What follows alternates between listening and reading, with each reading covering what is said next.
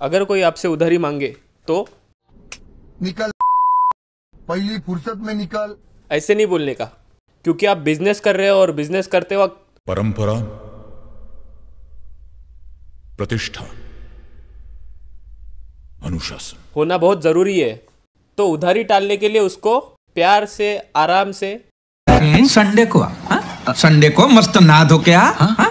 और आना मैं तुम्हें घर पे आके दे के जाऊँगा संडे को पक्का ना?